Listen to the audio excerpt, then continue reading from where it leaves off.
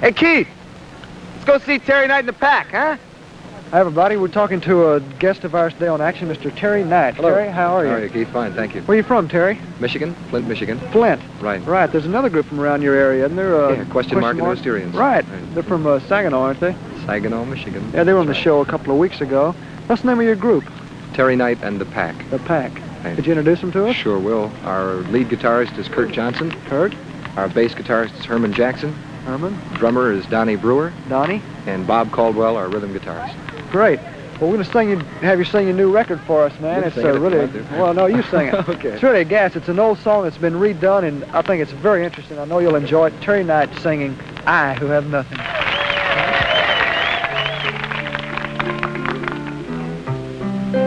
You know, everybody, no matter who they are, and no matter how different they might be, always runs across the same problem at least once. And that's the problem of love. And maybe just once in your life, you're gonna fall in love with somebody so bad. And it's gonna be somebody that don't need you at all. Somebody that's got everything in the world there is to have and, and you got nothing. I, I who have nothing. I, I who have no one.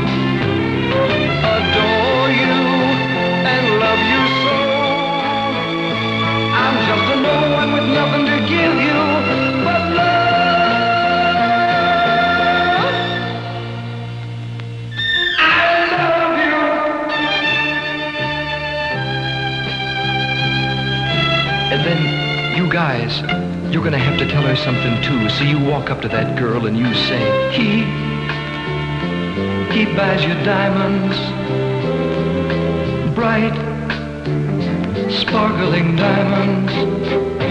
But believe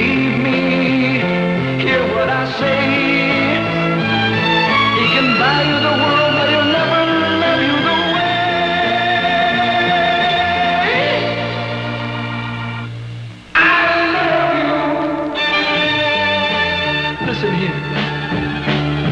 He can take you any place he wants, to fancy clubs and restaurants, while I can only watch you with my nose pressed up against the window.